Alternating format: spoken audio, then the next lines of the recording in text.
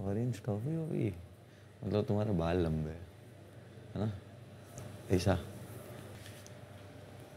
तुम नहीं थे आज क्लास में मज़ा आ गया। तुम होते तो तुमको ही देखने मिलता था। बढ़िया टास्क हुआ आज।